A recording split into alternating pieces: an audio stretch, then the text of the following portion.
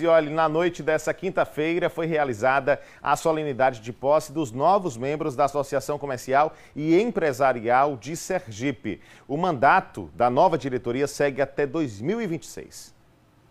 A cerimônia foi realizada para consolidar a nova presidência da Associação Comercial e Empresarial de Sergipe, além da posse dos vice-presidentes e dos novos conselheiros da entidade, que atuarão a partir deste ano até 2026. Ter sido presidente num momento histórico como 150 anos.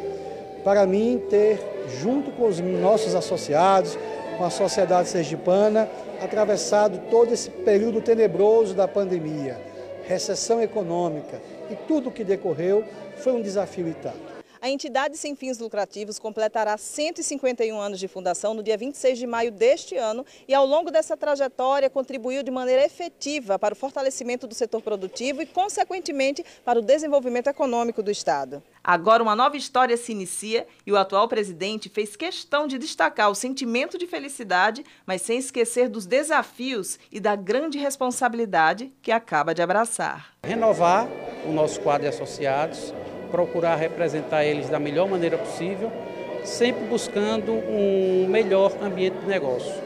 Então, esse é o nosso objetivo é, em à frente da SESI e está trazendo pessoas novas para a diretoria e também novos associados.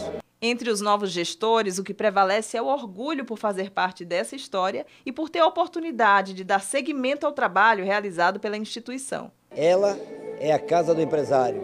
Ela é o lugar onde nós temos que discutir as nossas necessidades, as nossas dificuldades e trabalhar nas nossas soluções. É uma entidade histórica, né? 151 anos não são 151 dias e assim, tem uma finalidade importante, né? Então, vir contribuir é um presente também.